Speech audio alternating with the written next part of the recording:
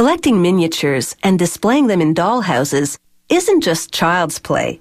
It's become a serious hobby for grown-ups who even buy fine silver in miniature. They spare no expense because, after all, it's the little details that make the difference.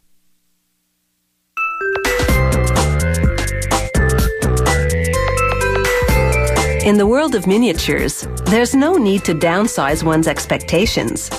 Here you can find all the little luxuries, like fine silver that isn't just a cheap reproduction. This silverware is a tiny version of the real thing. To make it, they use silversmithing tools and techniques that have been handed down over generations. This is a workbench used in the 18th century. Today, they use one that's nearly identical. They measure a full-sized mug and divide the measurements by 12, giving them specifications that are 1 12th scale, but true to the original. Next, they squeeze a strip of silver between rollers, which thins it out to about a half millimeter. Then they punch small round shapes from the silver. A blast from a torch softens them, which makes them easier to work with. They plunge them into acid, which eats away impurities and leaves a frosty finish. Next, they spin one of the silver discs on a lathe, and using a series of tools, they shape it into a thimble-sized mug. Any mistake is a big one when you're working with such small dimensions. It could ruin the whole job, so they work with great care.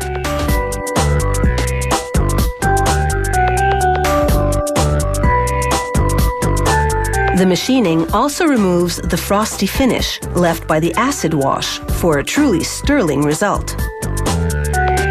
They buff up the mug to add luster to the finish. Next, they make a mini silver base for the mini mug.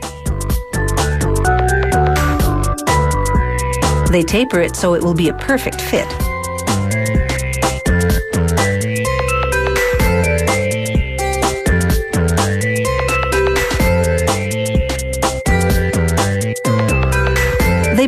Small fragments of silver solder between the two pieces.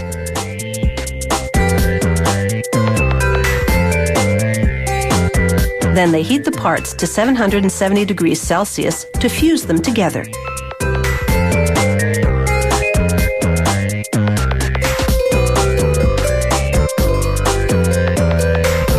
Next, they cut up leftover silver and put the scraps in a crucible. They add a pinch of borax, a mineral that will prevent unwanted oxides from forming, as they melt the silver leftovers to a molten mass. Melting the scrap will enable them to reuse it. They pour the molten silver into a plaster mold of little handles.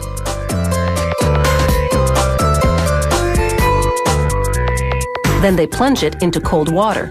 The temperature change causes the plaster to explode, exposing the mini silver handles.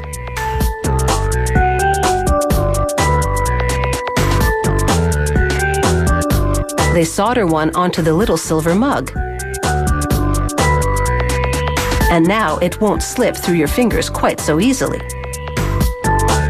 Next, the miniatures are cleaned and polished by friction in a bucket of steel shot and soapy water.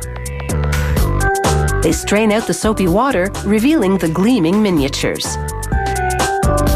Each silver miniature has to meet the same standards of purity as full-sized silver. Here in Britain, the regulations have been around for 700 years.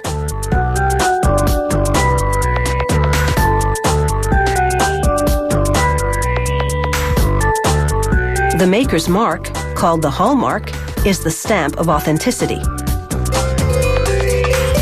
Hallmarking a miniature can be a bit awkward, and sometimes the article is just too tiny to mark.